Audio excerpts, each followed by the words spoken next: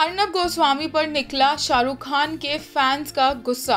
Republic TV host Arnab Goswami ने हाल ही में टीवी पर एक डिबेट होस्ट की, जिसमें वो शाहरुख खान के पेट्रियाटिज्म पर सवाल उठाते नज़र आए। अर्नब गोस्वामी ने एसआरके पर एक आईएसआई सपोर्टर टोनी अशाई के साथ बिज़नेस लिंक होने का इल्ज़ाम लगाया।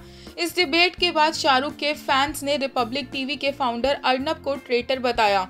उन्होंने ट्विटर पर हैश टैग देशद्रोही दलाल अर्नब ट्रेंड किया, जिसका इंग्लिश ट्रांसलेशन है ट्रेटर पिम्प अर्नब शाहरुख के अगेंस्ट ये डिबेट शुरू करते हुए अर्नब ने कहा his name is Tony Ashai से but his real name is Aziz Ashai following the revelation about an alleged business deal between Shahrukh Khan and Aziz Ashai Ashai, who's known to be an ISI supporter, jihad supporter, terrorist supporter. He's based in United States. If these business deals and business ties are not true, then Shah Rukh Khan should issue a statement denying the business ties.